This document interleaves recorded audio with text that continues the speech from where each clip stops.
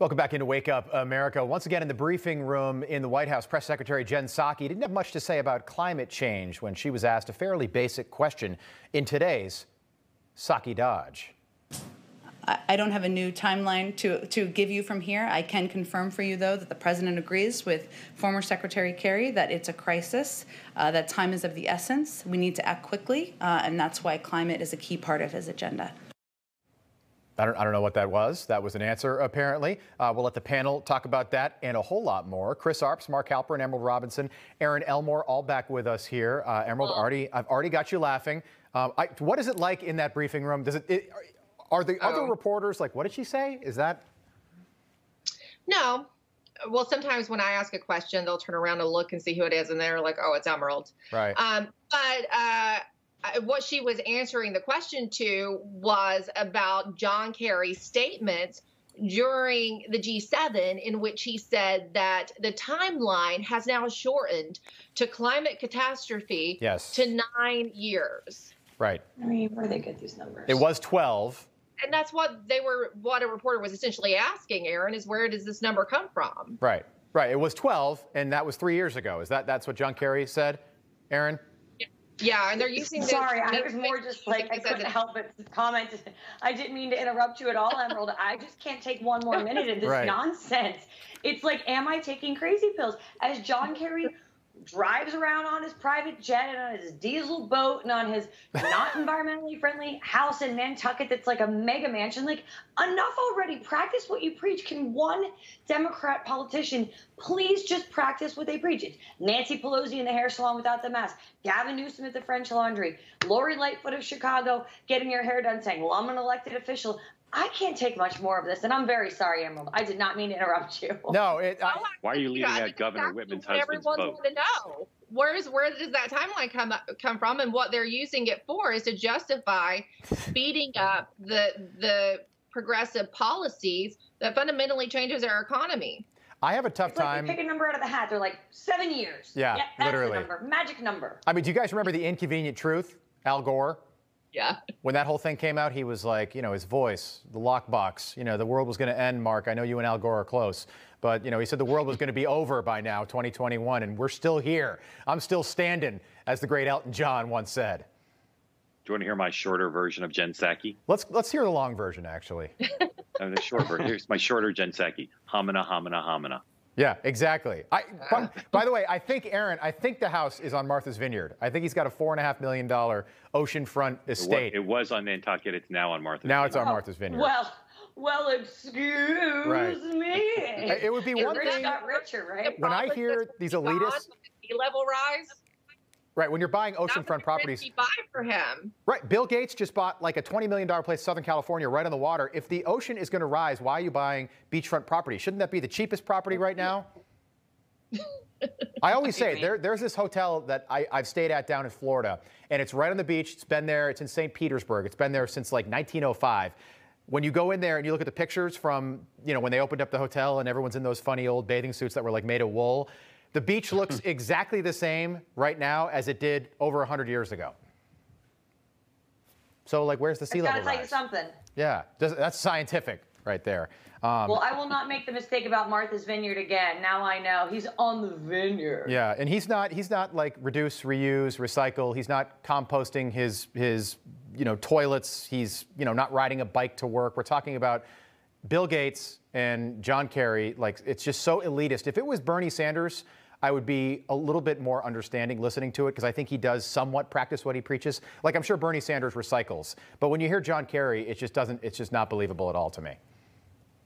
Yeah, and I think John Kerry, I mean, I know on the second marriage, he got rich because of her family money. I think his first marriage was the same way. So it's not even like he earned any of it with his own blood, sweat, and tears, which is disgusting. Yeah. He's spending all these other people's money talking about saving the environment while he's on a private jet that his wife financed. Teresa Heinz. I mean, Mark, you were you covered that 04 campaign when he was out there with the Livestrong bracelet on a, on a windsurfer.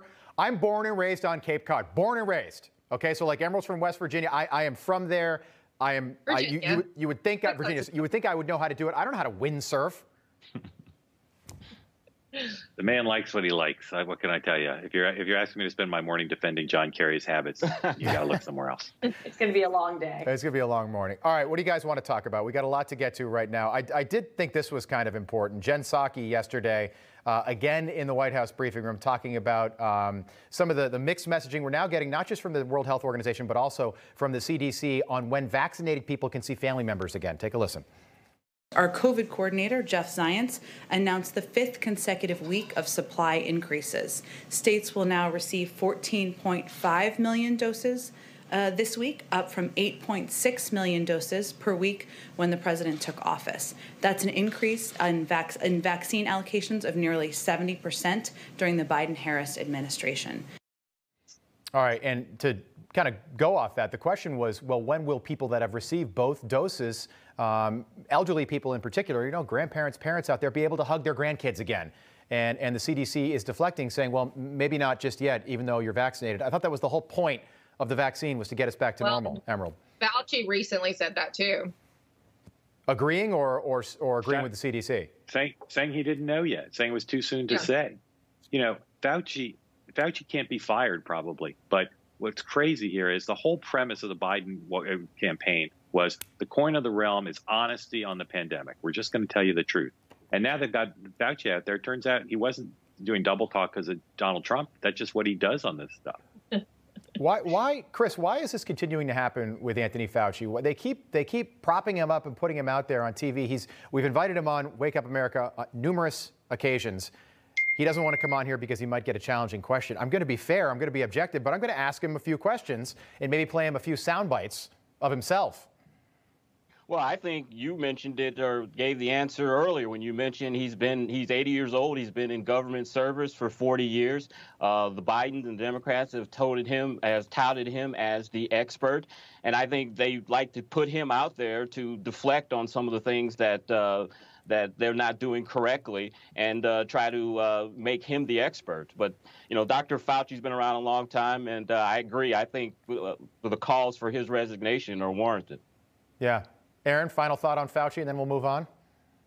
He's like the longest serving bureaucrat in Washington, and I feel sorry for these grandparents that aren't hugging their grandchildren when life is already so short and so precious. I know some people are afraid of the virus, but the survival rates are extremely high, and I wish people would feel more capable to make better decisions for themselves than listening to some bureaucrat that's very self-interested, both financially, personally, and politically. I'll just give you a final uh, thing that I found interesting yesterday. The state of North Dakota, obviously, you know, one of the least populated states in the country, they have now banned, they passed a bill, uh, 50 to 44 in the uh, lower chamber, banning mandatory face masks. So if you go to a Walmart now in North Dakota, you cannot require people to wear face masks. That's how far they're taking it a year into this thing, Emerald.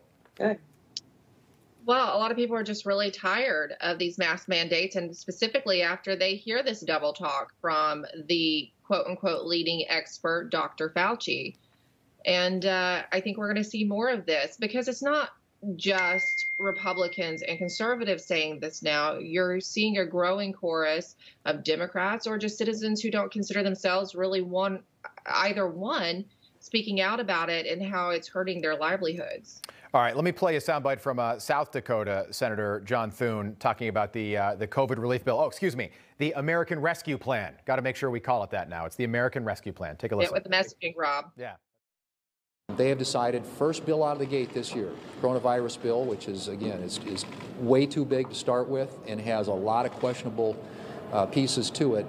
Uh, they decided to try and do it at 51 votes, I think, which tells you that this is never about trying to get a bipartisan bill that deals with the virus, but rather uh, using the pandemic for political gain.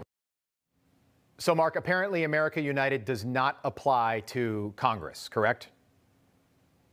I mean, you know, this is just Groundhog Day for people who worked in the Biden Obama, Biden administration. Once again, they're starting off with a big spending bill without consulting Republicans or very many Democrats and they're expecting things to be different. They're expecting Republicans to fall in line. It doesn't look like they will for this bill, and they're expecting Republicans to overlook what they've done and work with them on subsequent stuff. It's it's it doesn't seem to me from people I'm talking to in both parties that this plan is going to work if Joe Biden wants a bipartisan administration.